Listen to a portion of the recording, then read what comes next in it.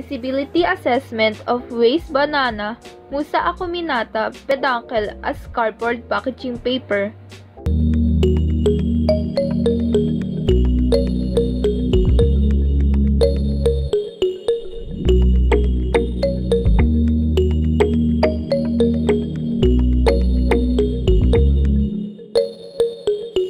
Cardboard packaging paper is commonly used nowadays. It protects and preserves the items we bought and it's also very convenient to use.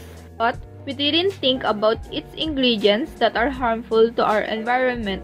The process of manufacturing the packaging paper starts by cutting down trees and it also contributes to pollution.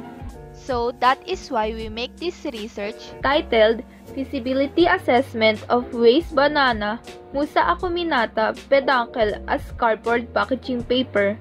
Objective of this research is to develop and evaluate a banana peduncle cardboard packaging paper as an alternative to commercial packaging paper that is affordable and eco-friendly. The procedures in making this include the collection of all the materials needed and prepare four different measurements for paper A, B, C, and D. After that, wash the banana peduncles and cut them into small pieces. Place the banana peduncle in the cooking pot and add some cornstarch before mixing. Cook it for 30 minutes. Strain the cooked banana peduncles and put them into the blender and blend it with water for 5 minutes.